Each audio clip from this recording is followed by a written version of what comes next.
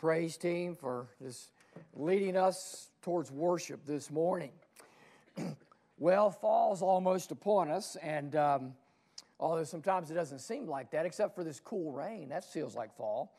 Uh, but one of the things that many of you may have done in the fall, and one of the things I've done through my life in the fall, is maybe it's time to go towards the mountains and go on a nice trail hike and see the leaves. I know maybe some of y'all have done that. Uh, we used to do, you know, I must have been young because this sure was stupid.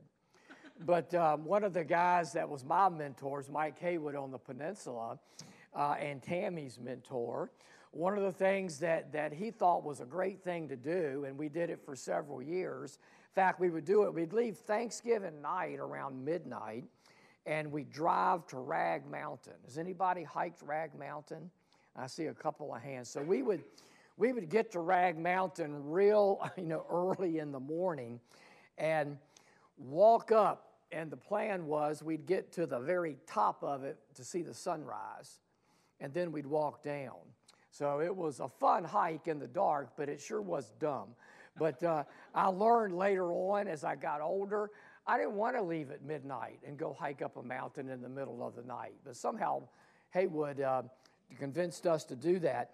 But anytime you're, you're taking a hike like that, whatever time you're doing it, maybe you remember that, um, you know, you, you hike and hike and hike. It's kind of a gradual climb, but you're climbing and, you know, you start to get out of breath a little bit. Your legs start getting tired. And usually you'll get right to maybe, um, you know, a few, um, several hundred or thousand yards from the summit and you've done all this hiking, you're doing this gradual hiking, and then you look up and the worst is yet to come. You know, sometimes you say, oh gosh, now I've got to climb up and over these rocks. Now I've got to go up this steeper path. But I, I've got to take this, uh, this last part of the difficult journey to get to where I'm going, to the top of this mountain, so I can look out on the beauty and the wonder and accomplish my goal. And so, you know, you take a deep breath and you climb the rest of the way. Now, I say that because this passage that we just read, this story about Jesus, kind of begins that way. And I want to set the scene of what's happening with the whole Gospel of Mark in mind, okay? Last week, we looked and where was Jesus and the inner circle of his disciples? Do you remember? They were on top of the mountain. They were on top of the mountain. They watched Jesus be transfigured, shine before them. I mean, can you imagine the, what we call the spiritual mountaintop experience that they had? That had to be the greatest spiritual experience they had ever seen up to this point. Maybe it's like if you've ever been on a retreat or you've ever been to a, a Christian conference or maybe a men or women's rally and you know you're just worshiping with hundreds or thousands of people and how wonderful that feels and you're on this spiritual high and everything must be great in the world but you got to come home. you know, you have this great experience in worship today, but you got to go back to work, don't you? You got to go back to face whatever's facing you in this sanctuary. Is that we have to come down and off of these mountaintop experiences in life. And spiritual highs are great, but they don't last forever. And it's the same with Jesus and Peter, James, and John. They come, the story begins, they come down from the mountaintop experience, and the rest, the symbolism is the rest of the Gospel of Mark is now, from this point forward, they are going to, and Jesus especially, is going to begin the journey to the cross. And for a long time, that's not a high spiritual experience, is it? It's going to be filled with difficulty, with challenges, uh, with stretching faith and, and, and stretching their, their resources and their belief. The path for now for these disciples, these followers of Jesus and Jesus, is the path's going to become steeper. It's going to become harder. And boy, they better get stronger in their faith and they better get stronger in their prayer life if they're going to make it. It's not unlike our Christian journeys, is it? It seems the more we commit to Jesus, the, the more we're called by Him to sacrifice for the kingdom. That many times it, it's unusual, but the challenges become greater. The challenges in our life becomes greater. Maybe we have a family emergency. Uh, maybe something really is challenging us at work. Maybe we have a financial crisis. Maybe, you know, maybe we have a relationship crisis. Uh, maybe we just have a spiritual crisis in our life where we doubt for a while. We, we just don't know where to turn. And maybe we get an obstacle put in our life that, that we just think is impossible, but it is probable. The Christian life is filled with joy and mountaintop experiences, but it's also filled with challenges. And that's what the story's about today. And what we need in times like this is we need more faith and we need to believe more and we need, need more audacious prayer. And that's what the lesson today is about. So let's look and see what confronts Jesus when he comes down from that mountain. So the, the narrative begins there in verse 14 is that Jesus gets to the bottom of the mountain with his disciples, and what he notices is, is a tense situation. The teachers of the law are surrounding the other nine disciples, and they're in midst of an argument. And um, he also sees a dad and, and, and a little boy that's just in terrible pain and dealing with a terrible illness and he sees a crowd beginning to gather around the whole thing. And, you know, this is a situation. Anxiety's going through the roof. Um, you know, it's kind of like something small might happen in a church, and all of a sudden it gets blown out of proportion. You know, uh, tempers are rising here. Things aren't looking good. And um, he also sees these teachers of the law, these Pharisees, these scribes, and boy, now where they really didn't care about Jesus and the disciples or kind of put them off, they're taking a keen interest in them now because the disciples are in the midst of failure. And they're gleefully nagging these disciples and they're gleefully quizzing them Boy, I thought you were with Jesus. You know, I, I thought you guys could do anything. I thought there was nothing you couldn't do. You certainly can't heal this little boy. What's up with that? I thought you were here today. I thought you were a Christian. What do you mean you're having a problem with your marriage? What do you mean that, uh, that you're having a problem with your business? What do you mean that your children are doing this or that? What do you mean you're struggling with this and that? I thought you were a Christian. I thought with Jesus you can do anything. You heard that before? The naysayers of the world can come out quick. But the Bible says the first thing is Jesus comes down, and the first thing to remember is his presence begins immediately to take control of the situation.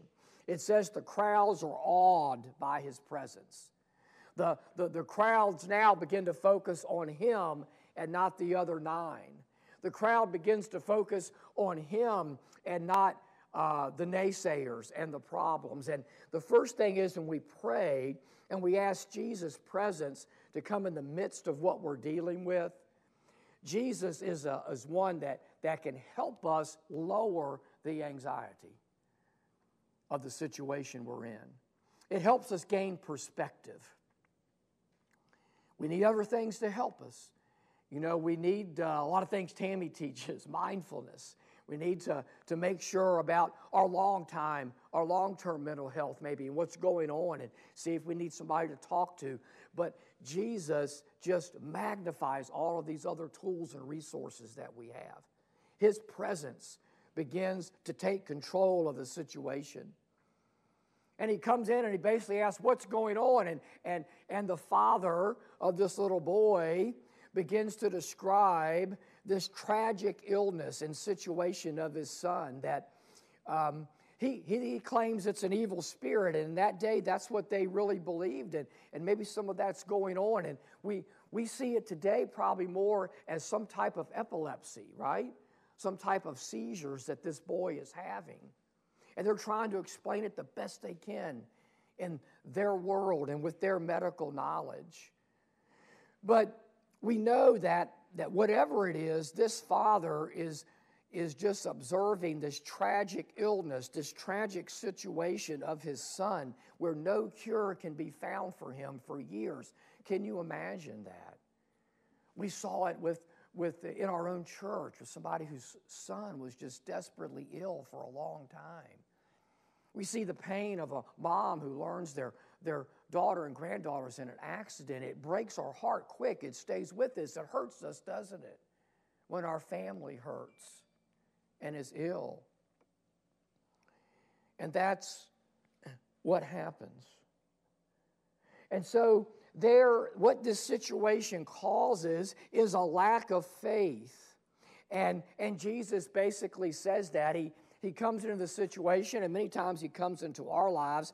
And the first thing he wants to tell us, and it's not a rebuke, but he wants to remind us hey, don't lose your faith hey, there's a lack of faith going on here. And, you know, include me again. I'm here. Remember, I've come into your presence. And he basically says it by, oh, how long am I going to have to stay with this generation? How long, how many times are you going to have to see me feed the 5,000? How many times are you going to have to see me heal the deaf and the mute and the lame? How long before you believe in my power and in the power of prayer? And this was a case, then, this story becomes, Jesus indicates, a case of lack of faith. Not a rebuke, just an observation. And it also reminds us that, that we too can always come to Jesus. And it's always best to come to Jesus when other things fail us. And we'll see that more in a minute. And so after he says this, we, we see with just touching tenderness, the Father makes a plea to Jesus to have mercy on his son, to have mercy on him and help him. Have you been at that point ever when, when you just pleaded with mercy to Jesus about something that's going on in your life? You know, I mean, you, you, you knew that nobody else Nothing else, no other power was going to be able to help this situation that you're in but Jesus. And the dad just pleads with the father's love Help me, Lord, in this situation. I'm out of options. I'm out of options. And even though Jesus is going to help the boy, he, he wants to let the father know that that he has a part in this, and, and he challenges the Father's faith here. And he says, You know, all things are possible with faith, all things are possible with belief. Can you believe?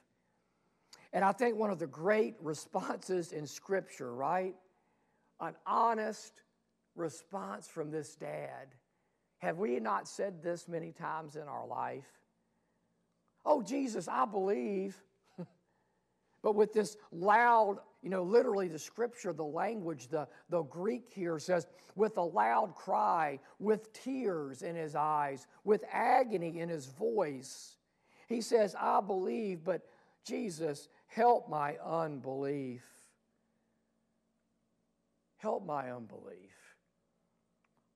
Because we, as men and women and teenagers and boys and girls, we're still human our capability, our level of belief sometimes can only go so far, can it? And at some point, faith, the belief in the unknown, the, the belief in a higher power, the belief in God Almighty, the belief in Jesus has to take over, doesn't it? And we have to say to ourselves, Oh, I believe, but Lord, help my unbelief. That's where I am. And what an honest prayer that is, isn't it? What an earnest prayer. This man has faith, but he craves more. And that's where God wants us. He wants us to have faith, but He wants us to have more. He wants us to have faith, but, but God doesn't want us to think that, that we've discovered all the faith there is and have all the answers because we don't. And I think He loves it when we cry, Oh Lord, I believe, I'm believing, but boy, help my unbelief. Help me to have more. Help me to have more. You see, Jesus goes on to teach prayer is what they say, Lord, uh, after Jesus heals the boy and they're alone, and, and, they say, Lord, why we couldn't we do it? Why couldn't we remove this spirit? Why couldn't we help this situation? And Jesus says, Well, prayer and faith is what you lacked. Prayer and faith is what you lacked. That was what was missing. They were powerless because they were prayerless.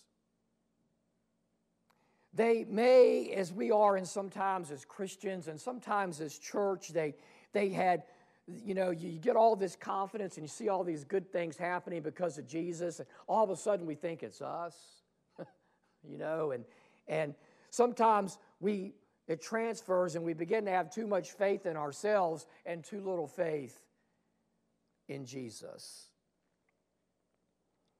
And so Jesus says, another great verse in Scripture, right? He says, you know, in things like this, some things can only be taken care of in prayer. Some things can only be settled, can only be healed by prayer.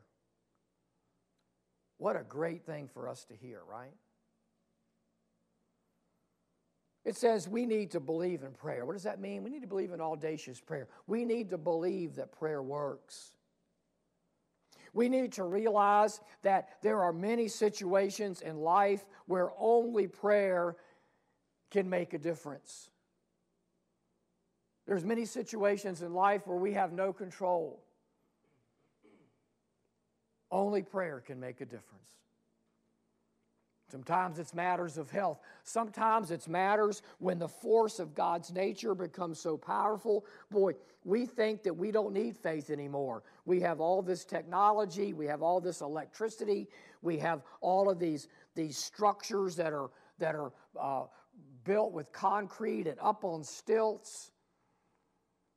And God's nature blows through in a hurricane and it's gone in days. And once again, we say, Oh God, I believe, help my unbelief. Help us from this day forward. And so we'll realize once again we're saved by Jesus as Christians, not to sit, but to serve. And, and thousands of Christians are going to mobilize now to help show people where God is in the aftermath of a storm of His might and His power. And only prayer is going to get many families through this crisis. They don't have anything else. But your prayers and my prayers and their prayers are going to get them through, many of them. And they'll have living rooms they can sit in again one day. And they'll have homes that they can sleep in one day because of prayer. We need to know that, that our human plans for spiritual awakening, spiritual revival, for church renewal, for church growth, and, and um, for sharing Jesus and seeing more people come to this place to worship Him, or it only going to happen through prayer. Yes, we need to have vision. Yes, we need to make plans. Yes, we have to have goals and strategic planning. But in the end, we need prayer, don't we?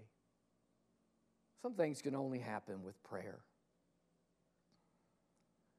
And you know, let's remember the gospel is being written to prove that Jesus is Lord, is the Son of God, that is the only way to salvation. And the biggest need, the biggest thing in life, in eternal life, that can only happen through prayer is salvation, isn't it? You and I cannot save ourselves. you and I cannot forgive ourselves of our sin. You and I cannot give ourselves eternity with God. Some things can only be taken care of and healed by prayer. And that's the way it was with your salvation. Only when and if you pray, Jesus, forgive me of my sin, become the Lord of my life, save me, can you take care of that? There's power in prayer. I love this old story. I may have told it to you before. It's about Jeremy Lanphier. Jeremy lived, in, and, and, and at this point in the story, it's 1857. Late, well, about this time, September 23rd. What's today? Okay, next Sunday, anniversary of it. Jeremy lived in New York and he was a part of a denomination of church, but in this time in our history, think about 1857, many people thought the country was falling apart. It was in spiritual decline, it was in political decline, it was in economic decline. In a year, they would have a market crash. In four years, they'd be embroiled in a civil war. Churches were failing. People were not coming to church, they were giving up on God. Attendance was going down. People wondered if the church would survive, if, if yeah, would the doors close on every church? A little group in New York City in Manhattan asked Jeremy, he was a layman, not a professional minister, would, um, would he think about visiting and figuring out something to get people back to church and thinking about God again? And so he began this great visitation program, visiting, visiting, visiting, inviting people to church and marketing, doing everything he could think of, and nobody was coming to church. It wasn't working. They weren't listening to him. So he puts up this, this ad and he says, Anybody that wants to meet me for prayer, to pray for revival and renewal for New York City and for our nation meet me on September 23rd at lunchtime for prayer at this abandoned building. And he throws out flyers and he invites the whole city. And he, it comes that time for people to meet for prayer, and he has six people show up. And he said, Well, six people are six people. And they pray. And he says, We're going to meet here every week. A month later, the stock market crashes. The next time at prayer meeting, he has 60 that show up for prayer. Word begins to spread. In, in two months, 10,000 people are showing up for prayer at his prayer meeting and prayers throughout the churches in New York City. In a year, when the nation goes and, and gets ready for its deeper depression that they've seen in a long time, hundreds of thousands are flocking back to churches. It's called the first great revival in American history. People are coming back to the Lord. People that have been Christians and left the church and forgotten the church are coming back and renewing their commitment to God. New people are coming to salvation. And it just doesn't stop in America. It's the first spiritual revival renewal in American history that goes worldwide. In churches in England and Wales and Europe begin to flourish and grow. All because six people showed up to pray. You see, some things, Jesus said, can only happen through prayer. Some things are just up to God and up to our faith and up to our unbelief. What we can't, what we don't believe God can do, God can do. Will you join me in prayer? Not right, we'll pray in a minute, but praying If you hear about Fairview praying, will you come and pray? Will you pray audaciously? Will you pray for things that, that you, you don't even think God can do, but He can do it? Will you pray for things in your own life that you think are hanging in the balance or God can't do? Will you pray for those audaciously? Because some things only can happen through prayer. Let's believe in prayer. And let's not think that God can't handle anything. That's why Mark put this narrative in his gospel. We're going to pray, and as our praise team comes up, and we're going to pray even as we sing, and we're going to thank God for a God that remembers us in prayer. Let's pray together. God, we come to you and we just bring our lives to you. I know there's all kinds of need right in this room. People that are praying to you for things that they don't have a way out of, that they don't understand, that, uh, that are beyond their control. Uh, God, may they have faith in you and realize that some things are only possible through you and through prayer. Lord, um, do great miracles and let us begin a great revival in this community, in this city, in this nation, in this world, not by what we do, but because of what you can do. Lord, we, um, we worship you now through this song and open our hearts, eyes, and ears to what you tell us from your word today. In Jesus' name, amen.